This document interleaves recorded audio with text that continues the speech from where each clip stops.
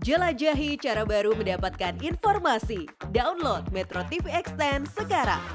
Anda menyaksikan Prime Time News dan kali ini bersama saya Anggi Asibuan kami ajak Anda masuk di segmen Hot Prime Issue. Kita langsung yang ke pertama pemirsa, pekan ini Prime Hot Issue adalah kecelakaan tambang emas di Banyumas. Ini menjadi topik pertama kita di sore hari ini. Bahwa delapan orang pekerja tambang terjebak dalam lubang sedalam 60 meter yang tiba-tiba lokasi mereka bekerja ini dibanjiri air rembesan. Memasuki hari keempat evakuasi, tim belum bisa juga menemukan delapan pekerja ini dan pada Sabtu pagi Basarnas menambah tim spesial untuk membantu proses pencarian dan juga evakuasi. Tim elit Basarnas tambahan dikerahkan pada Sabtu pagi yang berjumlah 10 personil. Sejak hari pertama, kondisi medan yang sulit dan air yang tidak kunjung surut meskipun sudah ada pompa, ini menjadi kendala bagi tim SAR untuk bisa masuk ke lubang galian. Dengan adanya tambahan personil dari pasukan elit Basarnas, berarti sampai hari Sabtu, Total ada 220 relawan yang ikut terlibat dalam operasi pencarian. Dan kami coba ilustrasikan kondisi lokasi tambang dan juga proyeksi upaya evakuasinya pemirsa. Kami akan coba gambarkan di sebelah saya ini. Oke, untuk Anda yang juga belum mengikuti kasus ini sejak pertama, ini adalah gambaran dari lobangnya. Pemirsa tambang-tambang ilegal atau tambang-tambang emas yang uh, ini sebenarnya juga tidak berizin ya. Jadi para penambang ini masuk ke dalam lubang dengan kedalaman yang diperkirakan mencapai 70 meter. Besarnya hanya satu meter persegi pemirsa.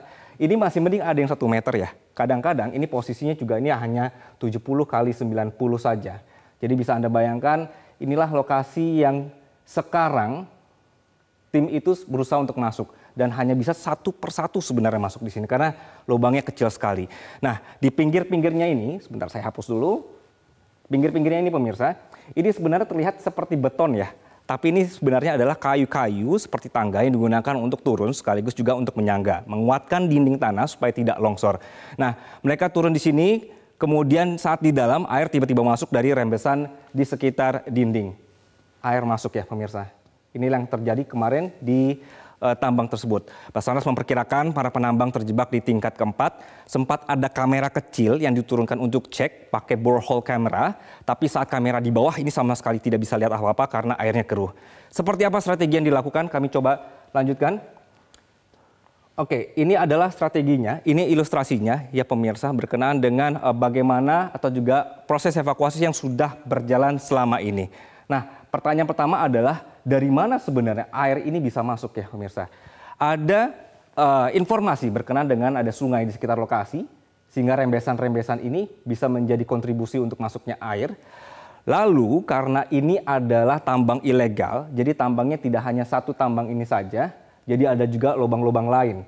Nah, lubang-lubang ini juga diperkirakan juga memberikan kontribusi air sehingga jebol dan masuk atau merembes ke galian yang sekarang disebut dengan galian Bogor. Ada misalnya juga nih galian dondong misalnya, kemudian sungai. Jadi dua-duanya ini memberikan air sehingga air bisa masuk di sini. Pemirsa, begitu. Kita lanjutkan. Bahwa Oke. Bahwa di sini uh, galian tambang berbentuk vertikal, horizontal. Jadi posisinya bukan seperti sumur biasa yang lurus ke bawah, pemirsa, tapi ada vertikal. Kalau kita anggap ini adalah 40 sampai dengan 60 meter.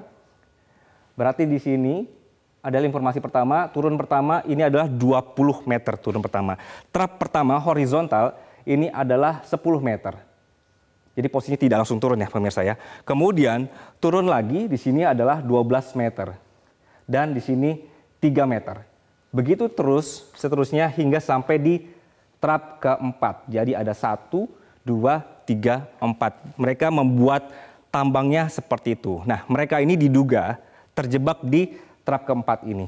Sehingga uh, skenario nya adalah bagaimana mereka mengeluarkan air-air yang ada di sini menggunakan pompa yang kemarin informasinya ada enam, tam, namun kondisinya tidak bisa maksimal sehingga akhirnya ada skenario untuk membendung atau menyekat sungai juga sehingga tidak ada lagi air yang masuk ke dalam uh, lubang galian atau juga menutup atau juga menyedot dari galian-galian sekitarnya supaya airnya tidak masuk. Jadi di sini disedot, di sini juga disedot.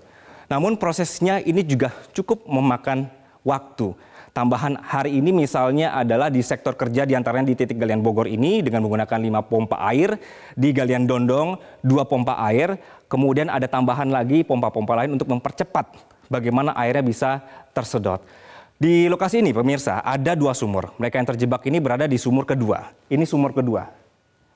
Kondisinya pada saat kejadian di sumur satu ada pekerja yang menemukan air, kemudian dia naik ke atas untuk menambal.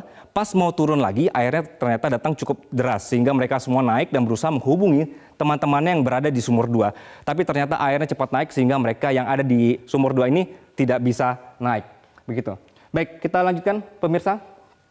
Bergeser ke informasi lainnya, tambang ini tambang ilegal, liar, karena tidak mendapatkan izin operasional. Tidak pernah ditindak Eh, pernah ditindak namun tetap beroperasi. Nah, tambang liar ini mulai bermunculan sejak tahun 2014 dan sejauh ini ada 35 lapak tambang yang aktifnya ada di angka sekitar 30. Masyarakat mendukung tambang ini karena ada informasi bahwa hampir 80% warga di sana mata pencahariannya adalah dari tambang-tambang emas ini. Menurut mereka penghasilannya jauh lebih baik dibandingkan harus bertani. Ada yang menyebut bahwa dalam seminggu mereka bisa mendapatkan 1 juta sampai 5 juta rupiah. Makanya resiko-resiko yang terjadi dengan kerja pakai standar keamanan seadanya ini sudah menjadi hal yang setiap hari harus mereka ladeni. Saat pembukaan tambang ada kesepakatan antara pemilik lahan dengan bagi hasil pemirsa Pemilik lahannya 20 persen, pemodalnya 20 persen, pekerjanya dapat 60 persen. Ini adalah pembagian-pembagian yang terjadi di lokasi tersebut. Oleh karena itu, dalam perkembangan kasus ini, polisi memeriksa 23 orang saksi untuk dimintai keterangan uh, keterangan kejadian 8 orang yang terjebak, empat orang sudah ditetapkan sebagai tersangka yang merupakan warga setempat dan aktivitas juga sudah ditutup. Cara mudah mendapatkan informasi dengan satu sentuhan jari. Download Metro TV Extend.